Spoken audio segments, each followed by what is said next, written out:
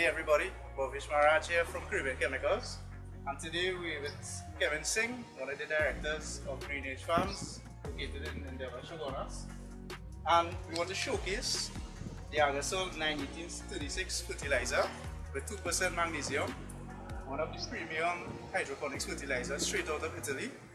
Um, today we're showcasing their um, use of the fertilizer in some Heatmaster tomatoes.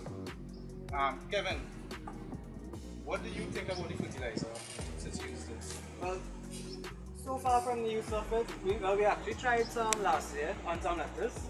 Uh, we got really good results with that. What really stands out about it, it, it dissolves really clean, really easily. Um, we also have gotten really, really strong vegetative growth. So if you look at the stems the tomatoes, you see very, very thick stems.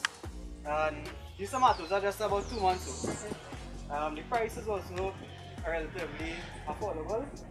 And what I really like about it is the pH bond capable.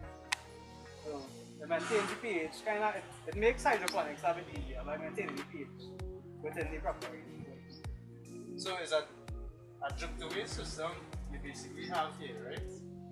Um, you can give us a little insight uh, your, your mixing, like how, how you mix this fertilizer?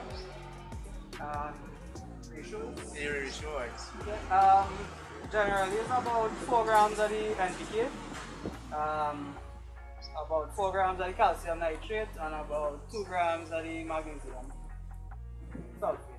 That's about it. We maintain the pH at 6 and the ppm is around 1500 for the tomatoes.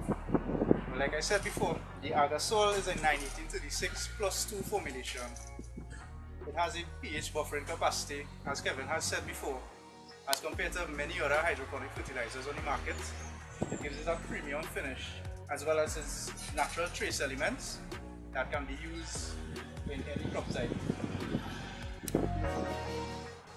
We would like to thank Kevin for inviting us um, to see his demo system at his store, Greenage Farms. And on behalf of your friends and family at Caribbean Chemicals, we would like to wish you a happy family day.